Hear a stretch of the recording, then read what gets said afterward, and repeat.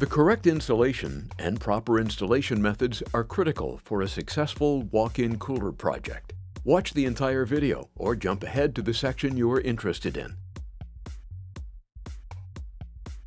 Insulation is measured by R value. The higher the R value, the greater the insulation's effectiveness. The R value depends on the type of insulation, its thickness, and its density. The industry standard for walk-in coolers is an R value of 25. We recommend either rigid foam board insulation or spray foam insulation. The three types of rigid foam insulation commonly available are polyisocyanurate, extruded polystyrene, or XPS, and expanded polystyrene, or EPS. RMAX is our preferred insulation because it has the highest R value per inch of thickness and is reasonably priced. With an R value of 13.1 for a 2-inch thick sheet, only two 2-inch sheets are required to achieve R25.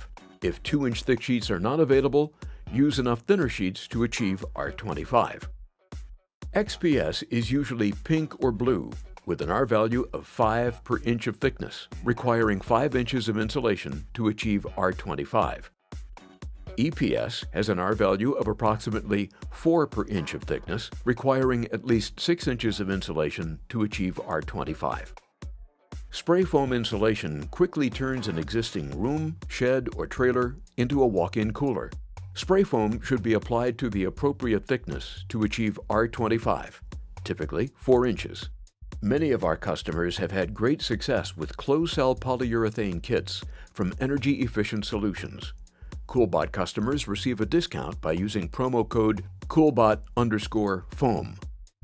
An alternative insulation material is rock wool or mineral wool. This type of insulation will fit between the studs and joists of your cooler walls, floor, and ceiling. We recommend rigid foam insulation on the inside of the cooler over the studs and rock wool to reduce thermal bridging. Depending on your climate, a vapor barrier may be necessary. The vapor barrier should go on the outside, warm side of your cooler. The most common insulation is fiberglass batt insulation.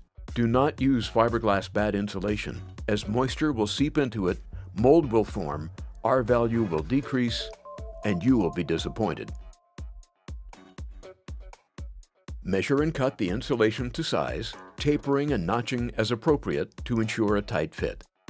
We recommend following this order for insulating your cooler. First, the floor, then the walls, and finally, the ceiling. Mark the wall, floor, and ceiling stud lines on the pre-cut pieces of insulation.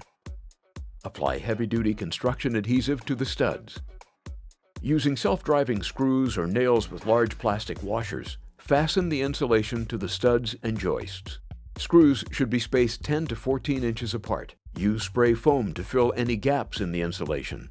Tape all insulation joints with metal HVAC tape to provide maximum insulation value. Apply heavy-duty construction adhesive to the first layer of insulation. Place the second layer of insulation over the first and press firmly to ensure a strong bond. If needed, brace the insulation in place. When all of the insulation is in place and the adhesive is cured, fill any gaps with spray foam and tape any remaining joints. Based upon availability of materials, budget, and other factors, some of our customers have successfully deviated from our recommendations as follows. Contact us to brainstorm a solution for your unique situation. The revolutionary CoolBot allows you to cool a well-insulated space down to as low as 34 degrees Fahrenheit using a window air conditioner. For as little as a few hundred dollars, you can join 45,000 satisfied users and have your own CoolBot walk-in cooler. Visit our website for additional instructional videos and downloadable plans for trailer coolers, shed-style coolers, and even restaurant-style coolers.